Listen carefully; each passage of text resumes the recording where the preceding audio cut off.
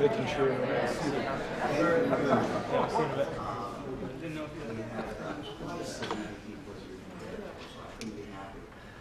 Um, First things first, business. Need more? Can you hear me? There. Okay, good, okay, can you hear me?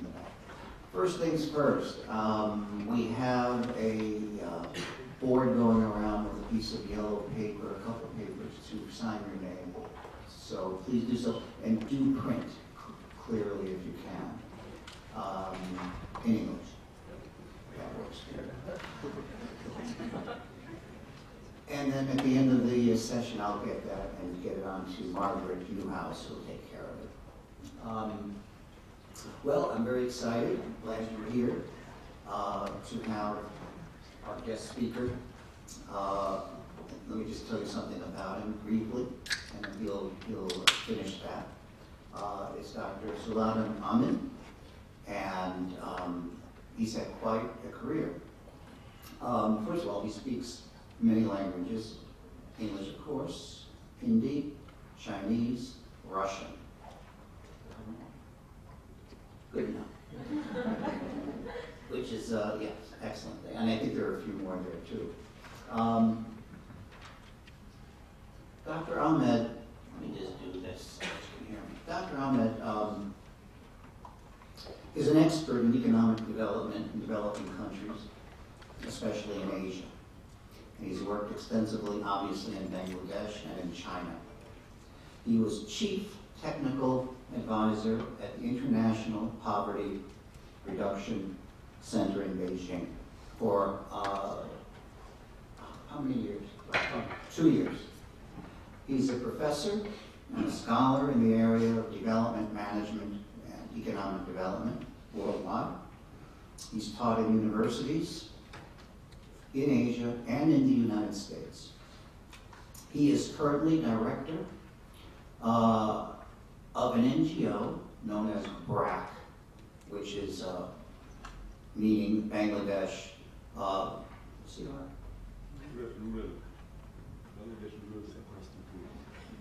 Rural uh, uh, right, Advancement Committee, and uh, it's an NGO in Bangladesh. He's going to tell you more about that uh, when he when he comes up. And I should also say he was a Fulbright scholar uh, in 2004, 2005 uh, in the area of policy advocacy and development. And he is also a graduate of uh, management program from Harvard University. Um, let me just end it there and have him come up. He's going to tell you about his career, uh, about his experiences in Asia, and most critically about his knowledge and uh, passion uh, for Bangladesh and for BRAC.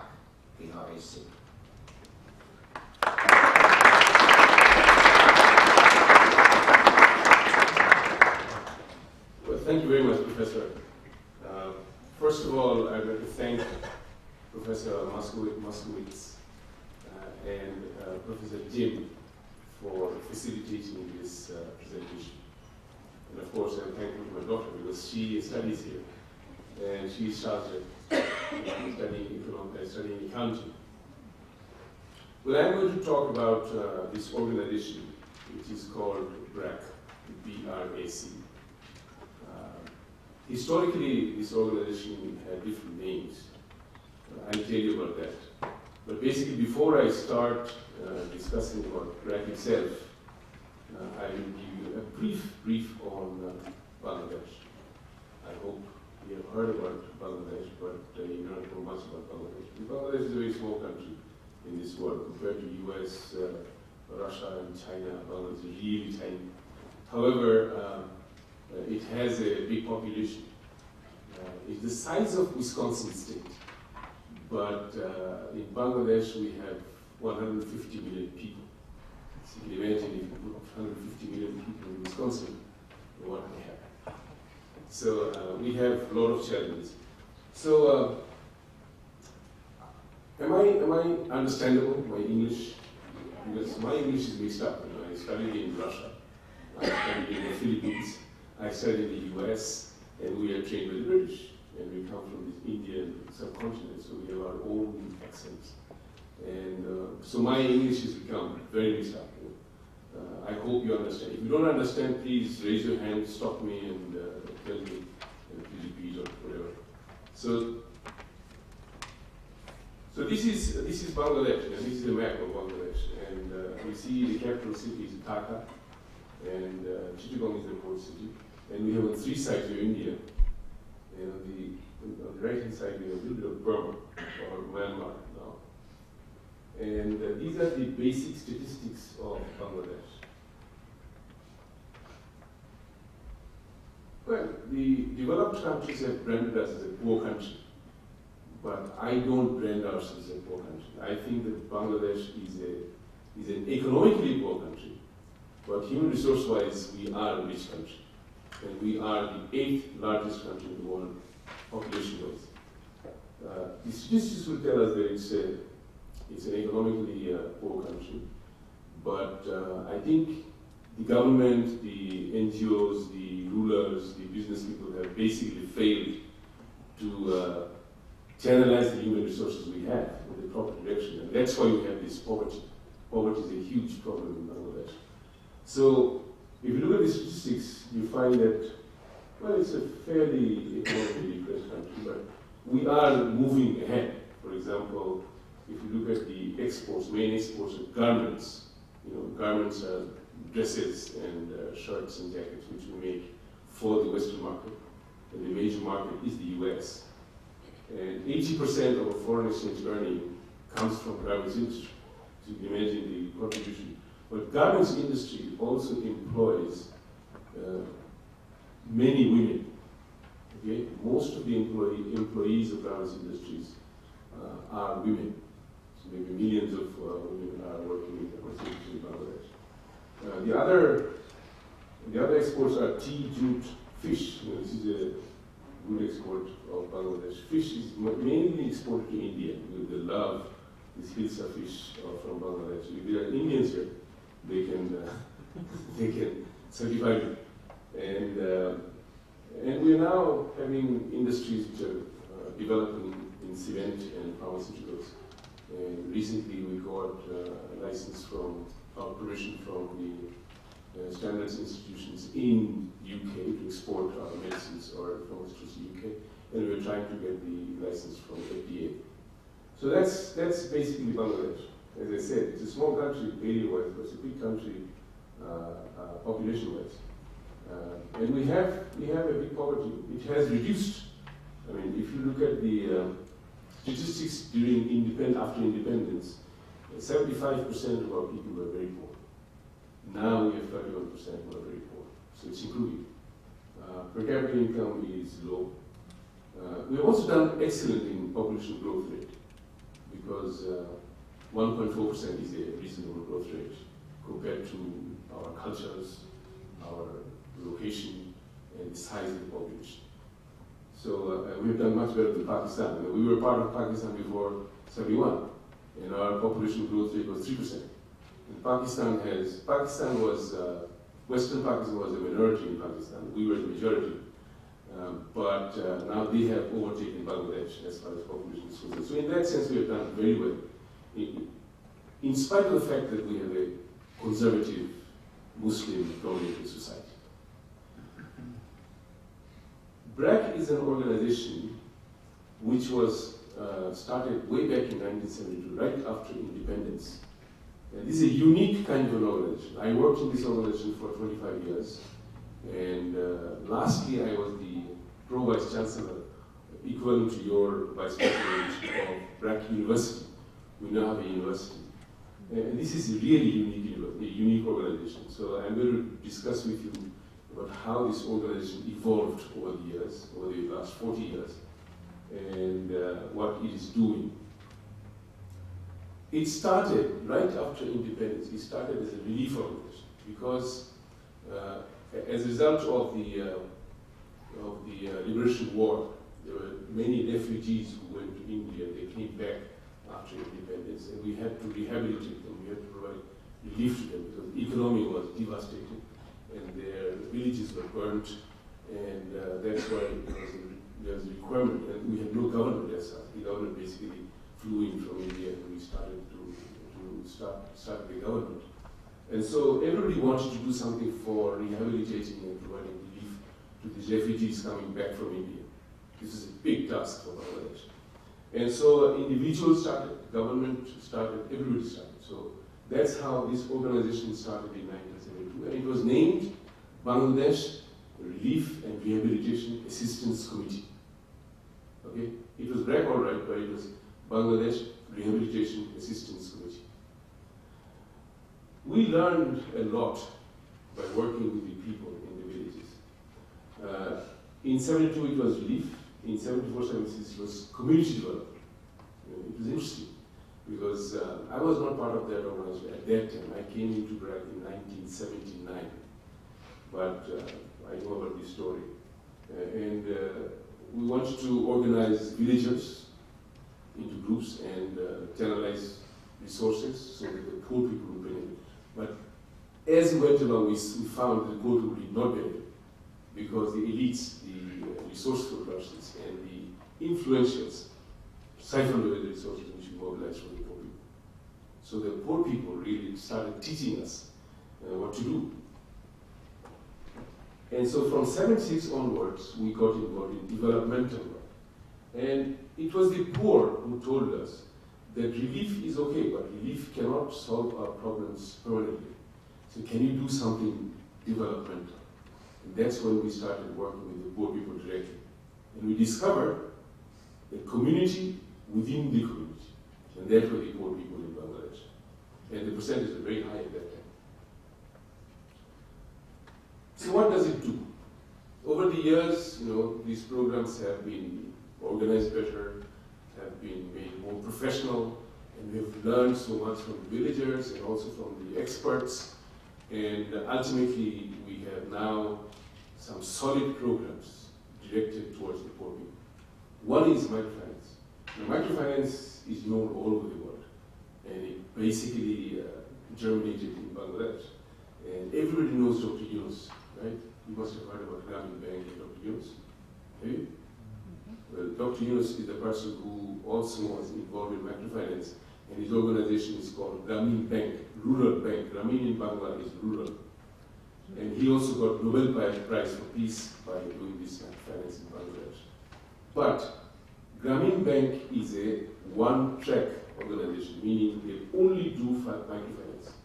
BRAC is a multifaceted organization because we understood poverty from a different perspective, from a realistic perspective. Poverty is not an income issue only. Poverty is also an issue of lack of accesses. For us, poverty is lack of access to land, lack of access to health, lack of access to education, lack of access to income, of course, lack of access to governments. There is governments, people don't have access to governments. So organizations which want to do something for the poor people have to be a comprehensive organization. And that's how we started with microfinance, and we are now covering 10 million women in Bangladesh. It's an amazing program, and, uh, and repayment rates uh, are extremely high. The poor people have proven that they're more bankable than the rich. If you look at the uh, repayments of our banks in Bangladesh, you'll find the rich, rich people don't repay properly. And many, of many people take loans and vanish to the United States.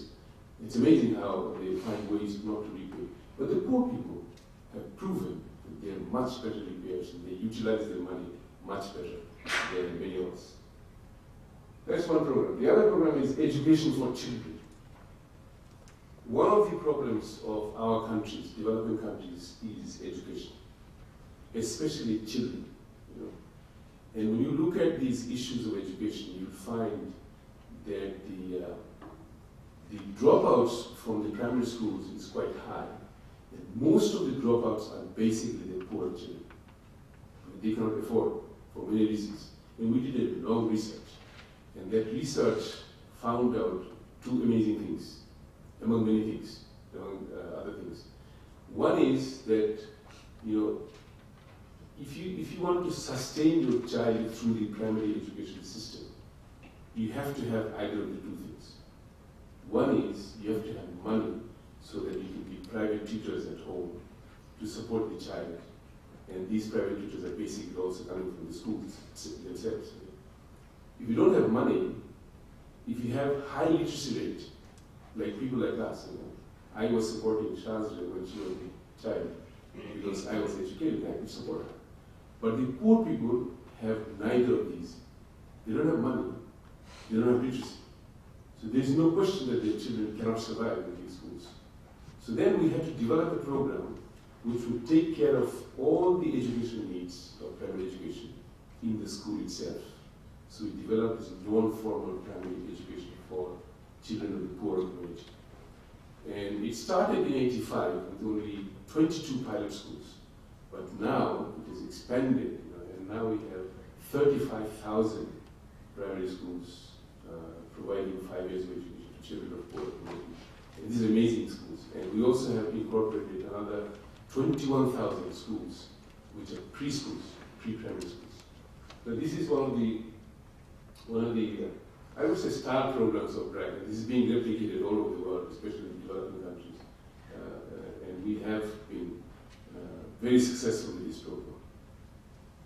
The third program is, uh, you may have a good microfinance program, you may have a good education program, but unless you provide services for the primary health care of poor people, there's no way that these children can sustain.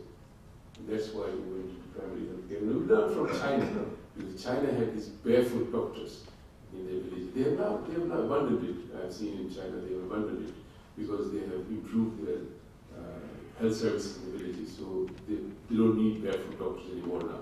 But I, I believe by visiting Chinese villages, they still need barefoot doctors. Better if they had this. And so this one is interesting that we have uh, one barefoot woman doctor trained in 10 basic diseases for 300 households in every village in Bangladesh. Okay? This is in addition to what the government is doing. The government basically provides services from centers, from fixed centers. And so we are, primarily what we are doing is we're trying to supplement what the government is doing and reaching these services to the poorest people. That's, uh, that's primarily for the poor. The fourth program is, uh, of course, the poor people also need a lot of capacity building, training and capacity. You see, interestingly, these programs evolve over the years. And I think this organization has been constantly learning and innovating as we've been doing this was an essence of the, uh, the expansion or scaling up of this organization over the years. Because the learning was from the grassroots, and we incorporated those learning and developed down-to-earth programs. This is a problem with many organizations. You know, uh, many organizations uh, feel that they know everything, so why should they ask the poor people what can the poor people teach them? But if you really want to make a difference, that, learning has to be done, come, has to come from the poor people, from the people themselves, and it makes a lot of sense. Uh, one of the things I can I can verify is that when I joined BRAC in 1979 after my PhD, I was I didn't know much about people, although I I was born and grew up in Bangladesh. My families come from the villages. But my families come from semi-elitist villages, right? So my ideas about the poor people came from my periodic visits to the villages, to my grandfather's home or grandmother's home. And we went there to have fun. We did not know or we did not understand exactly what were the problems of the people. Then in 79, I went to the villages from the side of the people because BRAC was working with the people. And so my concern was different. So my passion became different.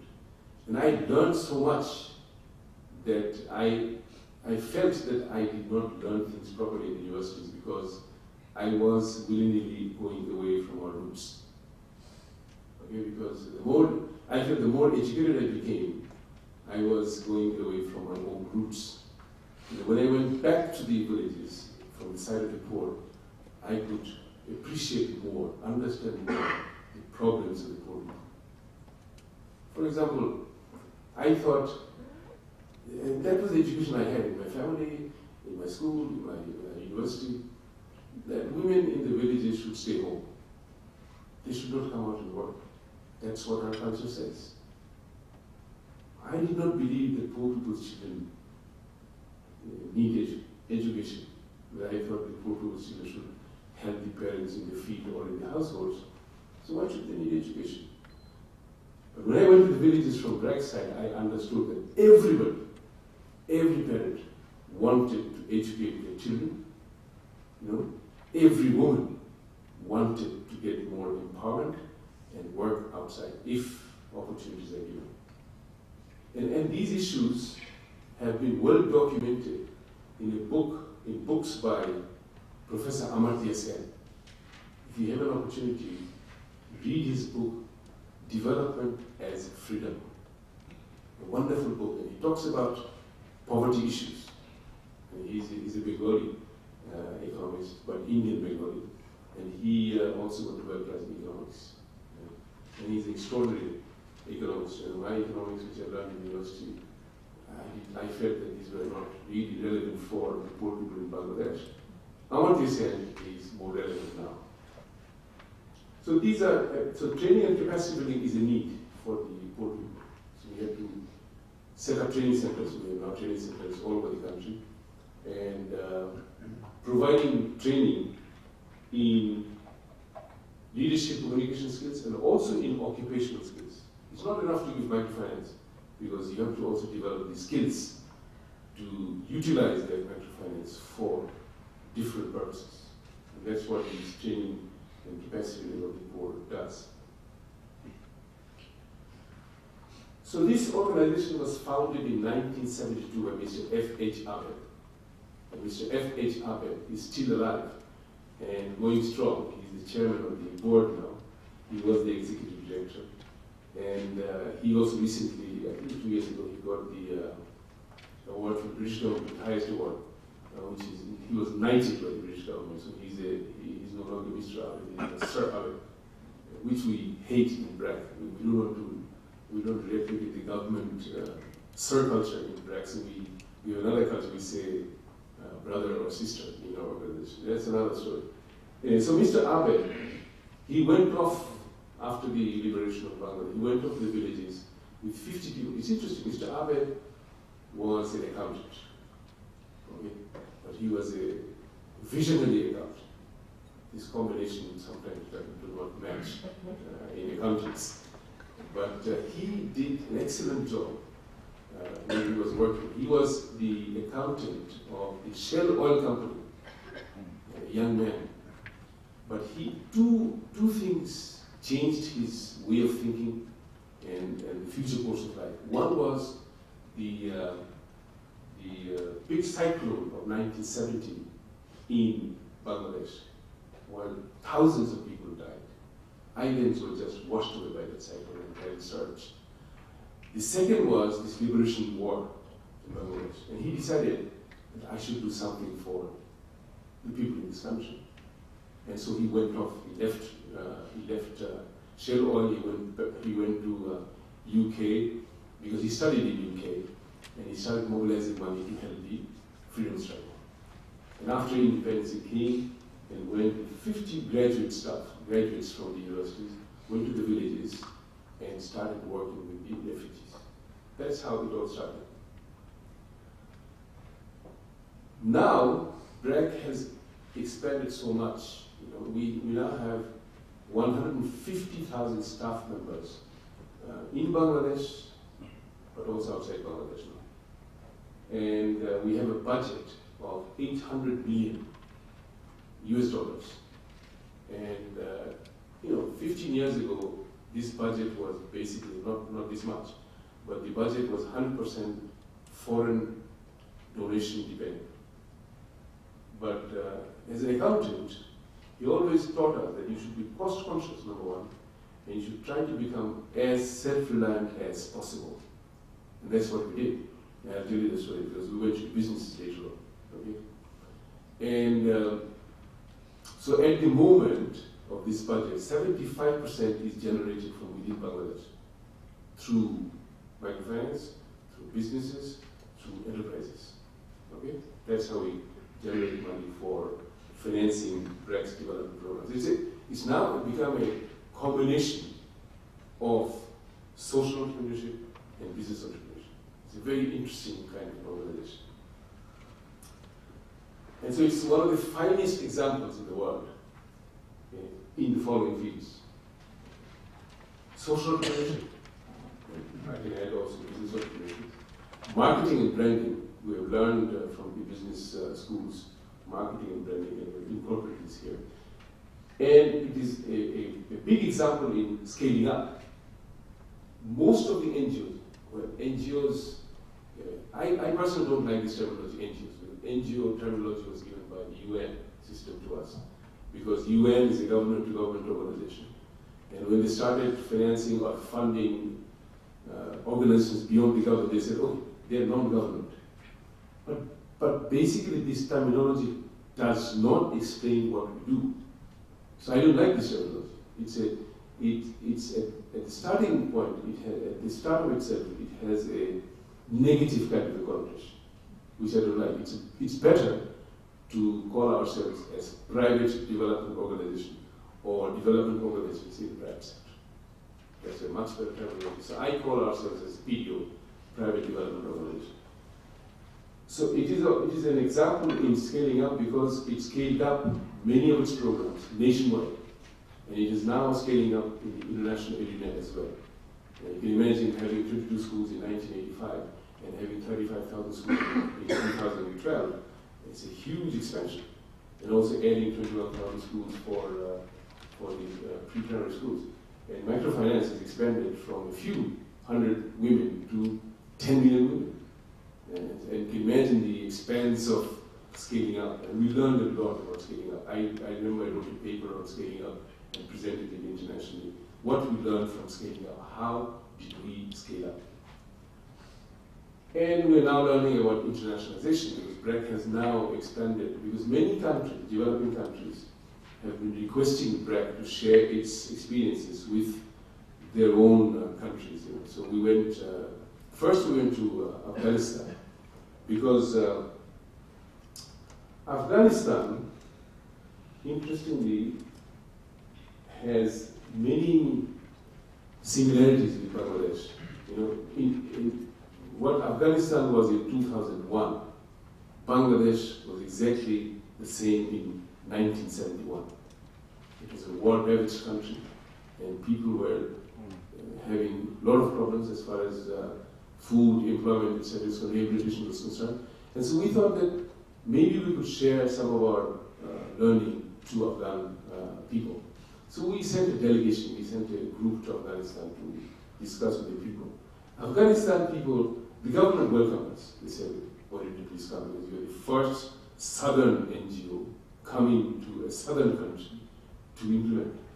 So, and, and, and, one thing they said very interesting, when we went to the village, I didn't go, but a group went and I heard these stories. When uh, they went to the villages, the villagers said something very interesting. They said, you should come because you are our Muslim brothers. You know. Secondly, you don't have a common borders with us. Whoever has a common border with us has problems with us. Please come and help us. This was something interesting. So we went to Afghanistan. Then we went to uh, Sri Lanka because Sri Lanka had this tsunami, and after that uh, there were a lot of uh, requirements in the country for alleviating tsunami disasters and also alleviating suffering of people. So we went to Sri Lanka. Later on, we went to Pakistan. Pakistan was interesting because Pakistan has been teaching us for 25 years. All of a sudden, Bangladesh was teaching Pakistan. So we, we were very happy to, to go to Pakistan and, and share our, uh, our learning to, with the Pakistanis. Uh, then Africa also wanted us to go there. So we went uh, to these countries over the years and we have started implementing programs. Now, interesting that uh, you cannot replicate developmental programs. We have seen this here. Development programs, developmental programs can be learned, but each country has its own circumstances, own cultures, own ways of doing things. That's why learning from one country can be adapted but cannot be adopted in another country. And that's what we saw in these countries. A lot of adaptations had to be done in the education program, in the microfinance program, or in the health program. Uh, in Afghanistan, for example, it was very hard to get girls only schools. We have in Bangladesh 70% girls, 40, uh, 30% uh, uh, boys in our schools. We're going to promote women's literacy. But in Afghanistan, it was very difficult. So they said if you, if you want to run schools, you please have separate schools for girls and boys. So that's what we did. And so we had to do these adjustments. And these are constant adjustments being done in, in other countries. So BRAC is now learning how to internationalize. But I would say that uh, uh, you know, has to uh, implement programs for some time, but ultimately these organizations have to devolve to, the, to those countries. That would be the right strategy for BRAC. It's now already 10 years we're now working, so maybe in the next five to 10 years we should devolve uh, and create leadership, create the staff and create the managers in those countries. That will help them more. That's what we saw in Bangladesh. I mean, in, in 72, there was an influx of international organizations, and BRAC was basically a marginalized organization. In 2000, it became the other way around. So international organizations, they said that, you know, BRAC and Grameen and others are doing much better, so we better concentrate on other poorer countries. That's what happened in Bangladesh. It was an interesting learning.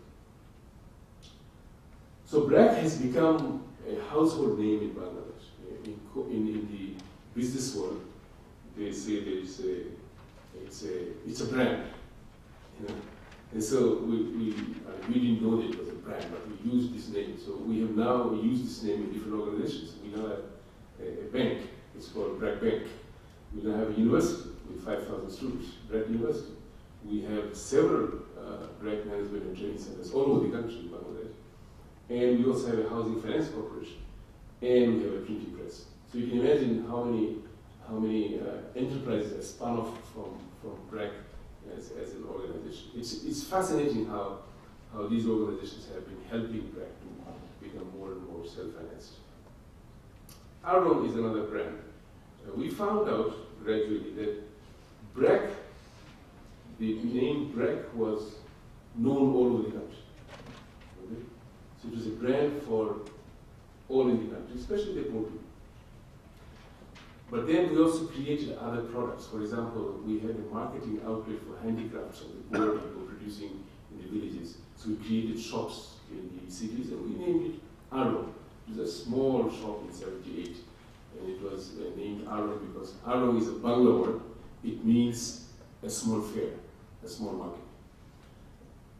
And uh, so now, gradually, it became, it expanded, it scaled up, and now we have about 12 outlets, and uh, there are about 40,000 women who are supported by Arong. So Arong has become a brand which is more known in the cities because these produ products are sold in the cities, but it is not known in the villages because Arong shops are basically in the cities, right? So Arong has, has now uh, come up with other, other products, such as uh, dairy and milk products. We produce uh, Arong milk, we produce Arong butter, we produce Arong ghee. In fact, we learned this technology from the Indians. The Indians have a fascinating uh, cooperative called Amul Dairy. I've seen Amul butter in, even in America, surprisingly. Uh, and so we got this, uh, we learned this from the Indians. You know, BRAC as an organization sends people to, to anywhere in the world know, and bring, back the knowledge of the. Then we have our yogurt, and that these are the few things we have uh, produced over the over the many years. Now, I just want to conclude my presentation by uh, by citing some success factors. You know, when I studied uh, uh, an executive program, Masters in Business, they taught us the logic of an organization. Basically, I didn't understand why they say logic of the organization. Basically, they meant that the logic of the organization means the key success factors of an organization. This was way back in the mid 80s. So maybe this terminology is never used now in the business schools. You use it? No. The logic, the logic of an organization. Yeah, you, you use success factor, but we were taught in the business school in Philippines, you must understand the logic of an. So was the term. But basically, it's key success. Okay, the first one is the spirit of independence. Bangladesh was always, Bengalis in Bangladesh were always ruled by outsiders.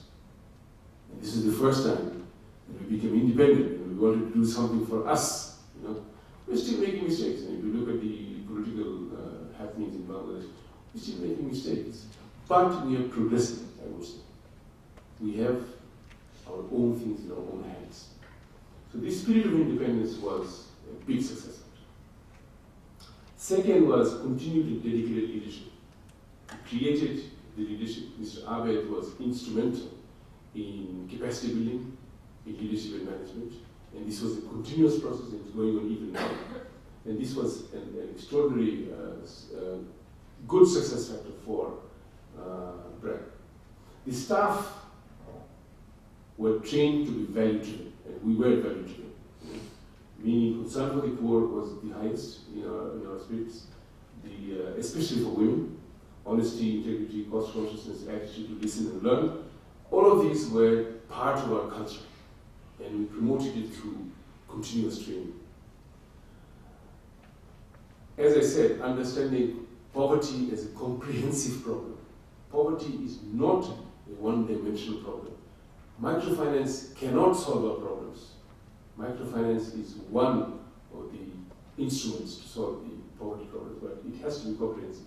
It has to be, uh, you know, making education, health, uh, land rights, women's rights, all kinds of things available to these poor people so that they can function as a as a citizen of the country. Okay? If you look at us, you know, I can tell you that most of the elites in our country are basically dysfunctional for the poor people. And that's why I think that we have sided with the poor and we have to unlearn a lot of things, what we learned earlier, to become, I quote ourselves as alternate elites. Okay? That's what we're doing. So we understood poverty in very different circumstances. Listening. Eh, I have seen in, in my 30 years of BRAC, I've interacted with many organizations, I've interacted with the United Nations, I've interacted with the government and governments of the world. And I feel, I felt, and I still feel, that the higher you get in the echelon of power, the less you listen. Because you feel that I know everything. What can you teach me? And I feel it, I feel it every day, every time I met the government you know, in our countries. How many people don't listen? It's a big problem. If you don't listen, you cannot develop programs. You cannot become functional. And this organization has been constantly innovating, constantly, whether it's microfinance or it's uh, education or health, whatever. It has been constantly fine-tuning and innovating these programs and coming up with newer ideas and newer programs. And as I said, over, over the years, this has been a continuous process of capacity building.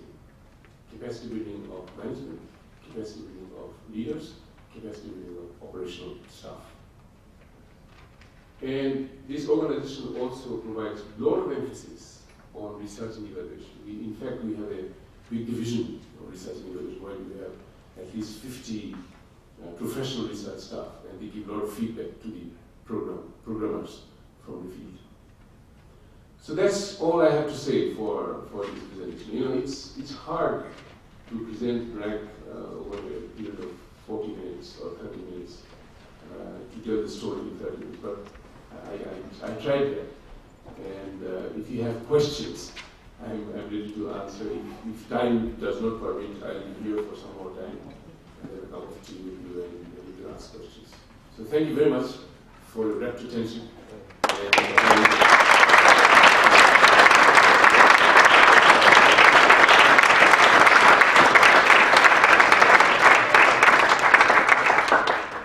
thank you in, in Russian is spasibo, in Chinese is in Hindi dhanyavad, in Bangla also dhanyavad. In Bangla it's interesting, we don't use dhanyavad so much as you use thank you in America. Uh, surprised how many places say thank you, say thank you. In Bangladesh we don't say that. And, and people coming from the West sometimes tell us that, why, do you, why don't you say thank you? I say, I say that, you know, thank you is, is in our in our expressions. We don't say the word, but it's in our expressions. It's your eyes, it's your smiles, it's your body language. But we don't use the word thank you so much in Bangladesh. But anyway, thank you very much for your attention. Are you ready? Yeah, I'm Any questions? Please. Um, hi, my name is Chan, and I'm a senior at St. Ben's. And um, I was just very fascinated by the fact that you guys moved from 100% um, donated to 75% self-reliance. And um, I know it's a process of 30 years or so, but what would be some of your advice for young people who just start their nonprofit organization of how to become more self-sustainable and to move away from so much donation to creating or generating our own revenues and sustain our organization? It's hard, you know, it's, it's, it's difficult. It takes a lot of time. But what we, what we learn, for example, I was once in Africa, in Zimbabwe. And in Zimbabwe, there's a proverb which says, it goes like this. Please listen carefully. If you have your hand in someone else's pocket, if that person moves, you have to move. Right? We understood that because we used to get funding from different sources, mostly international sources. And sometimes these funding organizations were highly demanding in their own ways, not understanding always our own problems. And so we had to listen. We had to we had to move with them. But we didn't like that. So, and that's one reason why from the very beginning, from 1978, we started thinking about becoming more and more self-reliant. You know, and now we have money which we can use ourselves. For example, donors might not give us money to create BRAC University. Why should donors give us money for BRAC University? So we had to generate money from within, from the businesses, and then start the university. Initially, you need a lot of investments in the university. So it took time, you know, it took a lot of time. Uh, for the first, I would say, 10 years, we did not have any local funding I mean, or, or generated any income. But gradually we understood that if you use your money yourself, your own money yourself, you use it better, and also you don't have to listen to wrong demands by the donors sometimes, you know. Not always, sometimes. That's why we constantly uh, want to become self-reliant. Even now we are not self-reliant because uh, some of our programs cannot generate money. Like the non-formal primary education program is a large program, but it cannot generate its own money because primary education in Bangladesh is free. Okay? And if you open this program, this is such a good program. If you open this program for the public, for of, to recruit or to uh, enroll on payment, it will be hijacked by the richer people. So the poor people cannot afford. And if you open it up, the rich people will take it away because they will not send their children to these schools, and the poor people's children will again be marginalized, right? So it takes an effort, you know, but it also takes a vision. It has to be a vision which you want to reach. It's not a dream. You know, there's a big difference between dreams and visions. Dream is a dream. I can dream that I want to become the Prime Minister of Bangladesh. That's a dream. I'll never become Prime Minister of Bangladesh. I don't want to become Prime Minister of Bangladesh. But I can dream. But if you have a vision, that means you can translate that dream into action. Then it becomes a vision. And that's what happened in. That we, from the very beginning, we thought and we, uh, we, uh, decided we should become more and more self-reliant because we, we were not very happy with the, the kind of uh, donor demands which we were having. Sometimes it did not go with the interests of the poor people in Bangladesh. It's a very difficult, complicated story. We faced that. So, I mean, that's a long answer to the short question. But basically, you have to have the vision. And you have to try to generate income innovatively from within the country and become more self-reliant. It's always good to be self-reliant. Because the other thing is that you cannot, you cannot influence the donor's objectives, but you can influence your own objectives, right? So if the donors all of a sudden decide, I'm not going to fund any Bangladeshi organization, it just goes down. And it has happened in Bangladesh. Some donors decided, Bangladesh is progressing, why should I finance Bangladesh organization? I go to Africa. So they took their money and went to Africa. But that organization collapsed. So this has happened. So these are kind of uh, ways to deal with this problem of uh, becoming self-reliant. But it's a, it's a difficult issue. And, and you have to be very committed to become self-reliant as much as possible. Any other question? Yes. My name is Chapin. I'm a senior at CSB.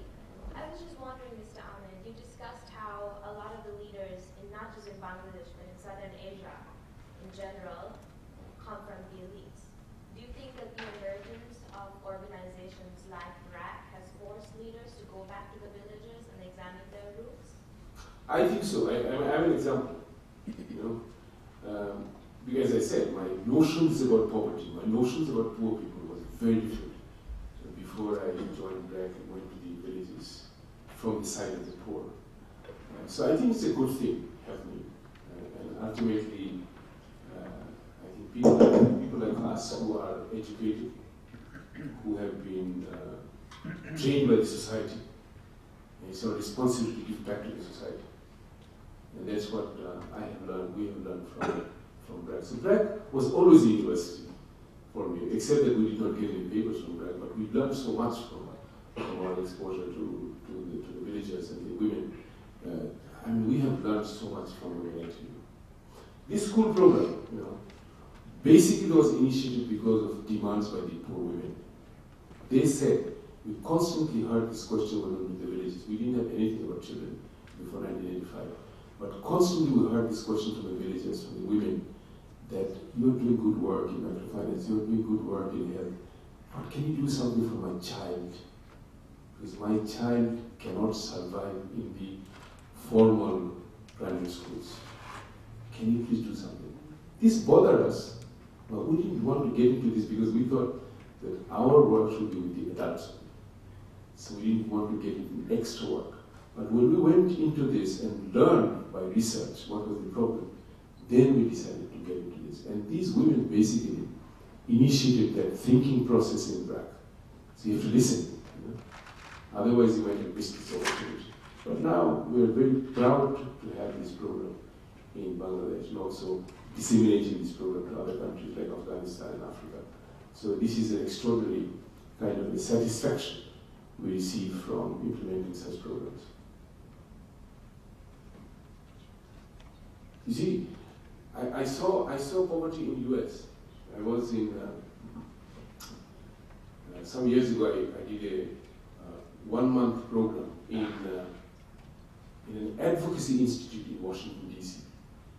And during the third week or fourth week, they sent us to see how advocacy is done. So we saw some examples. And I went to San Francisco to look at the issues of garments workers in San Francisco Bay. How do you call it? Bay, Bay Area or something. And we went to their homes. And I was surprised to see such poverty in, in America. It was surprising for me because I, I didn't find any difference between the garments workers in Bangladesh and garments workers in San Francisco. So the issues are still there. The only problem is, for us, poverty is a mainstream issue. You're talking about 31% of people in Bangladesh. 31%, 150 million people is a huge number, right? 135 million in China who are very poor is a huge number. Although, percentage-wise, 135 million of 1.3 billion is not much. You can say that, oh, we don't have poverty. But China has poverty. Bangladesh has poverty. US has poverty. The issue is that for us, it's a mainstream problem. So we constantly focus on poverty. Everybody talks about it, and everybody does something about poverty. For you, it's a marginal problem. So you forget about poverty in, in, in uh, US, but there are people who need support. There are interesting organizations also. And there are this kind of initiatives which, which is needed all over the world. I wish there was no poor people in this world. And as I said, I also learned another thing from my 30 years of experience that uh, the rich people are basically unfair to the poor people. The developed countries are basically unfair to the developing countries. This is another learning I've got from my experience. Uh, if I had uh, if I had been 20 years younger, I could start something new in this direction. But I'm already 60 plus, so I don't have much time. But I will try to go back to I'm going back to Bangladesh in November, and and uh, I worked for 30 years, but I'm going to work for another at least 10 years to really dig into these issues of, of poverty and uh, unfairness in this world. And these are complex issues, I you, very complex issues. But I wish, no matter where you are as young people, don't forget the bottom 10 15% people in our countries. Please remember them. Because I feel that uh, it's a crime that so many people live in such appalling conditions in our countries, whereas you have affluence all over. Tremendous affluence. The income difference in China between the rich and the poor is one of the highest in the world. 0.48 Gini coefficient. They have overtaken the United States. So I think I tell the Chinese that focus on the poor people. They say we have only 10% poverty. They said 10% means 1.3 billion, 1.3 billion people you have. 10% is a lot of people. So I think no matter where you are working, please don't forget the bottom 10 15% people in this world. They are in dire need of support. Dire need of support. And uh, you are you are the fortunates of the world. If you go to these schools, you know, 35,000 schools, we cannot do much after grade 5. Now we are developing all kinds of programs so that they can continue their education in high schools. It is happening, but very slowly. You know, but we need a lot of support. And that's why I think that you know when you see these children in the schools, you, you become you become energized. If you stay in Dhaka, the capital city of Bangladesh, you become very frustrated because they all talk Bangladesh has no future, the people are dying, this country will, will become the basket case which was said by Kissinger in 1972, and that still remains. But if you go to the villages and see these initiatives of microfinance and the, the rural children, become energized, you know, and you feel, you feel that there is hope in our countries, in our people. And I wish that the rich countries also have that kind of a vision for the world. Anything else?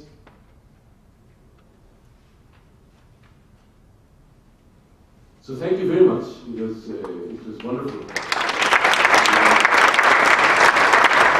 I'm, I'm really thankful. I'm really thankful that I could come here and Professor Zerov and I uh, uh Thank you very much. Thank you.